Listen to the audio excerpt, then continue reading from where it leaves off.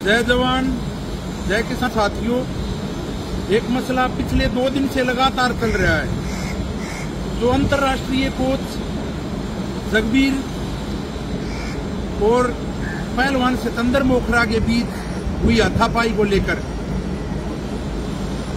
जगबीर भी एक अंतर्राष्ट्रीय कोच हैं और एक बड़ी पहलवान फैमिली से हैं, जिनके बड़े भाई कुलदीप लगातार भारत का नाम भी रोशन किया और देश का, प्रदेश का नाम रोशन किया। कुलदीप, उनके बाद संजय पहलवान लगातार भारत केसरी रहे।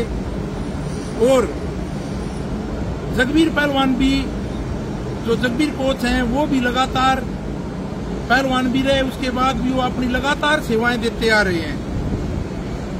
तो जो दो दिन पहले जो घटना हुई उसके बाद सोशल मीडिया पर एक दुष्प्रचार चलाया जा रहा है। दोनों परिवारों के बीच में इस विवाद को कैसे खत्म किया जाए? हमारा कदम उस उस तरफ़ है। जो पहलवान सिकंदर हैं, वो भी 20 बार के भारत केसरी हैं और एक अच्छे परिवार से हैं, जिनके दादा परदादा और पूरा परिवार मोखरा गाँव में उनसे भी मैं अच्छी तरह परिचित हूँ। उनका भी एक बड़ा अच्छा परिवार है, सामाजिक परिवार है। हर सामाजिक कार्य में योगदान करते हैं। और जो जगबीर पहलवान का गाँव मटिंडू है, जगबीर कोच साहब का गाँव मटिंडू है, उनकी फैमिली ने भी उसकी जगत में एक अच्छा योगदान दिया है। और देश विदेश में देश का नाम रोशन किया है। और सिकंदर पहलवान ने भी जो ये हाथापाई की नौबत आई, ये किसी भी वजह से आई, इस विवाद को, हमारा प्रयास है इस विवाद को जितना जल्द हो सके उतना जल्द खत्म करें। कोई भाई भी किसी एक साइड में जाके इस प्रकार की भ्रम और भ्रांति न फैलाए कि इन दोनों परिवारों में किसी प्रकार से तनाव की स्थिति बढ़े। और मैं जगबीर कोच साहब से एक रिक्वेस्ट और उनके मैंने गाँव मटिंडू में भी बात की है।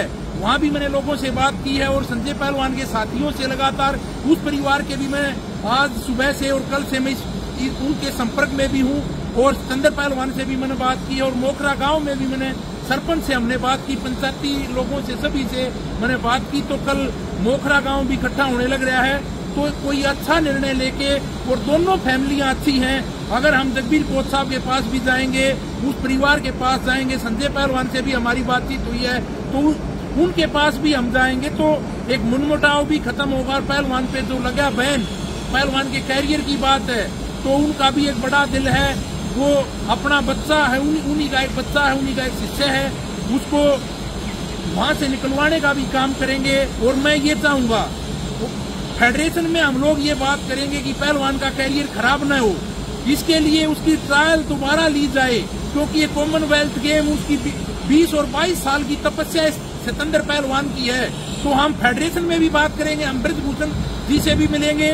और पूरी फेडरेशन से हम बात करेंगे कि पहलवान की ट्रायल भी दोबारा ली जाए और इन दोनों परिवारों के बीच में जो लोगों ने विवाद पैदा कर दिया, एक की हिमायत लेते हैं, दूसरे की गलती बताते इस तरह के फैसले कभी समाज में नहीं होते। हमारे समाज में खापों का जो चलन है, वो राजा हर्षवर्धन के टाइम से है, या बड़े से बड़े मसले।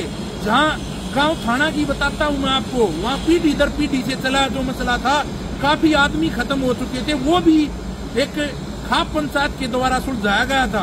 तो यहाँ बड़े से बड़े मसले खाप पंचायतों के द्वारा सुलझाए जाते हैं। यहाँ इतना बड़ा किसान आंदोलन हुआ, उसका मसला खाप पंचायतों द्वारा सुलझाया गया। यहाँ अनेकों मसले खाप पंचायतों और पंचायती फैसले के ज़रिए सुलझाया जाता और मेरा सौ फ़ीसदी ये मानना है, संजय पहलवान का परिवार और जगबीर कोच साहब का, उनका परिवार भी हमारी बात को मानेगा और सुंदर पहलवान का गाँव परिवार, उनसे भी बात करके हम उनकी भी उनकी हम ट्रायल भी करवाने की पूरी कोशिश करेंगे और हम चाहते हैं कोच का भी सम्मान बरकरार रहे और पहलवान का भी कैरियर बिल्कुल बर्बाद न हो और पहलवान का कैरियर बढ़े और पहलवान की ट्रायल हम दोबारा कराएँगे और कोच के सम्मान पर भी हम ठेस नहीं पहुँचने देंगे। कोच का सम्मान भी एक माँ बाप का दर्जा है। पहलवान अंदर के एक बाप के दर्जे के होते हैं कोच है, गुरु हैं, उनसे काफ़ी बड़े हैं तो हम इस मामले को बीच में दोनों परिवारों से हमारी बातचीत चल रही है। हम इस इस इस मामले को तुरंत सुलझाने का काम करेंगे। जय जवान, जय किसान और मेरी सभी साथियों से जो सोशल मीडिया पर ज़्यादा चलते हैं, किसी एक पक्ष की बात ज़्यादा न कह करे। किसी किसी परिवार को न उलझाएँ और आग में घी नहीं डालते, आग में, आग पर पानी डालने का काम करें, जिससे वो शांत हो सके। जय जवान, जय किसान, जय भारतीय किसान।